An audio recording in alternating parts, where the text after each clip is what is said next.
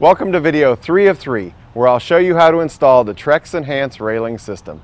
The first step for installing a Trex Enhance rail system is to measure and cut my post sleeves to the desired length.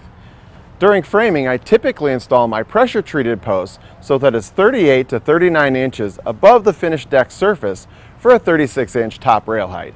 Post sleeves are sold in 48 inch lengths at the Home Depot, which will accommodate both horizontal and stair applications. For horizontal applications, I cut these to 40 inches, which is most common. We'll install the stair rail posts and railing shortly. Those posts will be a little longer. For this cut, the miter saw produces the cleanest cut. The next step is to install the post skirts and post sleeves in that order.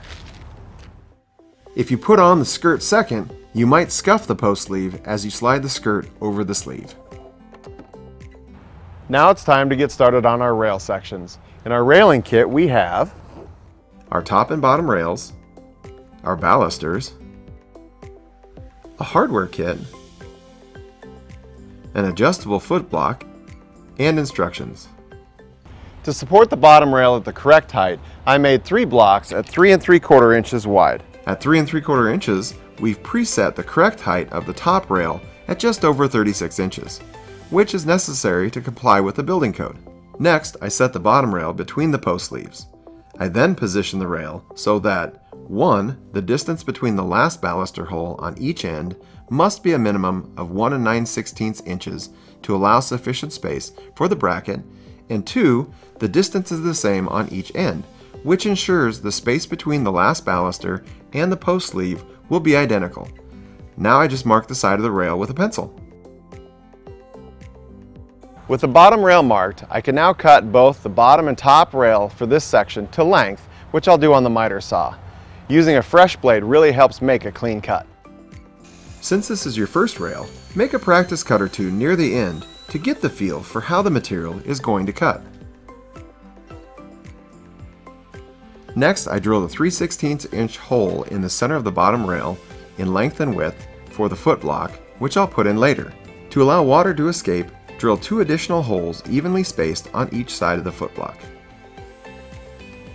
I then position the brackets from the hardware kit on each end of the top rail on the same side as the baluster holes using the three number 8 by 1 inch self-drilling screws which are provided.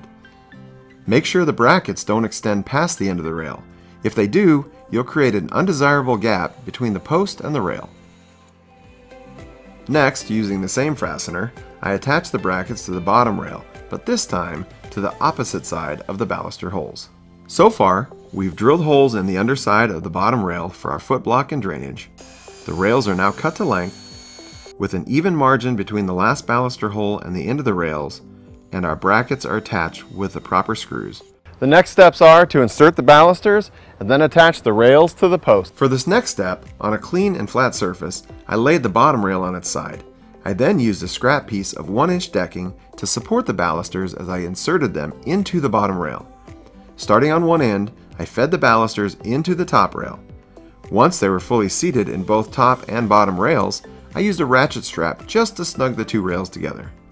I then set the rail section on the 3 and 3 quarter inch blocks and centered one end at a time on the post. To help hold the section in place, I used a clamp which only needs to be snug so that I don't damage the balusters or post sleeve. Slowly drive the provided 3 inch wood screws through the holes in the bracket and into the post sleeve and post. No need to pre-drill, but do go slowly and set your drill clutch to a low setting. If you overdrive the fastener, you'll see the post sleeve distort and potentially crack the sleeve. Foot blocks are required to help support every section of Trex Enhance railing. The adjustability of these foot blocks makes them very easy to install. I first turned the turn mount so that it could easily fit under the bottom rail. Then I positioned it so that the nub was engaged with the hole I previously drilled in the rail. Next, I twisted the turn mount until it was fully tightened in between the deck surface and the rail. With the mounting hole facing outwards, I installed one number 8 wood screw, which was provided, and pull the sleeve down to cover the turn mount and screw. And finally, the last step in the process is to install the post caps, which is as simple as applying some silicone or PVC adhesive to the tab inside the cap and to the top of the post sleeve, and taping down the cap while the adhesive cures. Installing the stair railing is my last step in this project. Trex Enhanced stair railing also comes in a kit, but there are some differences. Let's have a look. Much like the horizontal kit, we have a top and bottom rail, which have elongated baluster holes to accommodate the angle of the stairs, powder-coated black aluminum balusters, a hardware kit, and installation instructions. Inside the hardware kit, we have rail brackets plus adapters to accommodate common stair angles, as well as fasteners to connect it all together. Lastly, we have a foot block. Before we begin marking and cutting our rails, I'll install the lower post skirt and temporarily install the lower post sleeve. Don't cut that lower post sleeve to length just yet, we'll make that cut later. Push the bottom of the post sleeve out so that the sleeve is touching the wood post, then clamp a scrap piece of deck board to the underside of the bottom rail.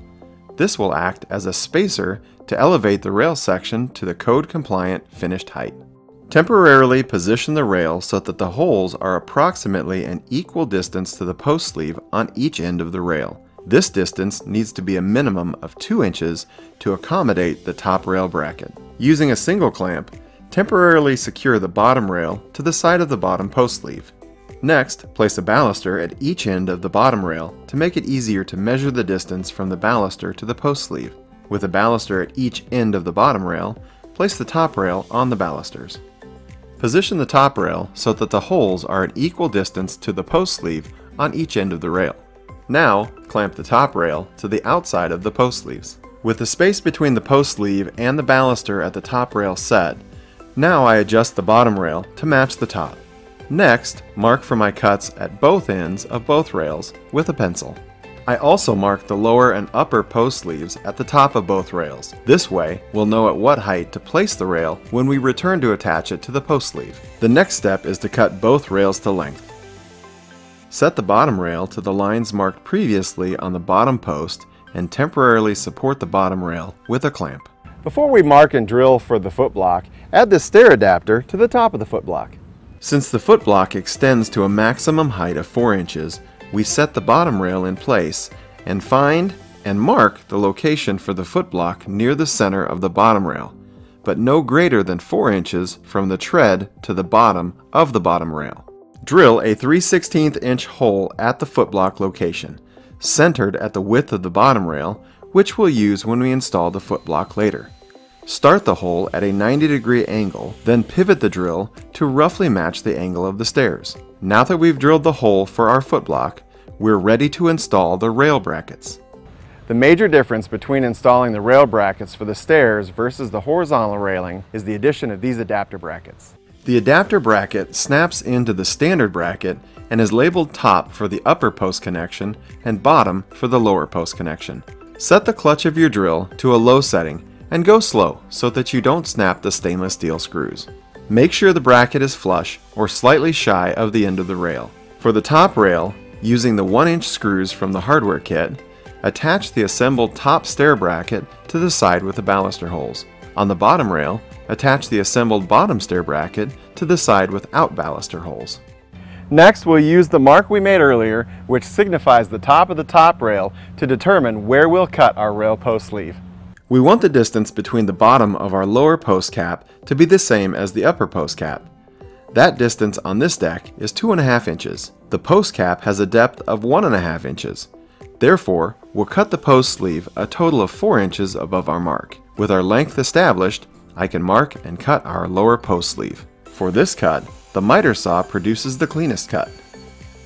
With our rails cut to length, brackets installed, and bottom post sleeve cut to length, it's time to connect our rails to the posts. Set the bottom rail in place so that it aligns with the mark made earlier on the bottom post. Place a clamp below the rail bracket on the lower post. Place a clamp and a scrap piece of 2x4 above the rail at the upper post. The rail should align with the mark made previously on the upper post. These keep the rail at the correct height while we're securing the rails to the post sleeves. Next, center the bottom rail on the post sleeve. Because the screws will be going in at an angle, I find pre-drilling with an 8th inch bit helpful. To prevent the drill chuck from marring the sides of the rails, I use a driver extension for pre-drilling as well as installing the provided 3 inch wood screws. Insert all the balusters into the bottom rail Then lower the top rail down onto the balusters. I find that lifting and rotating the balusters up into the top rail helps speed the process. Once all the balusters are in, then I make sure the top rail is all the way seated and everything is snug. Just as we did with the bottom rail, place clamps under and above the rails. Next, center the top rail on the post sleeve. Again, using the driver extension, pre-drill for the provided 3-inch wood screws. Go slow when installing the wood screws and be careful not to over tighten. I positioned the foot block so that the nub was engaged with the hole I previously drilled in the rail. Next, I twisted the turn mount until it was fully tightened in between the deck surface and the rail. With the mounting hole facing outward, I installed one number 8 wood screw, which was provided, and pulled the sleeve down to cover the turn mount and screw. A little silicone adhesive on the tab inside the cap, some tape to hold them in place while the adhesive cures, and we're done. Thanks for joining us today, and remember to visit homedepot.com to find all the Trex materials you need to build your dream deck.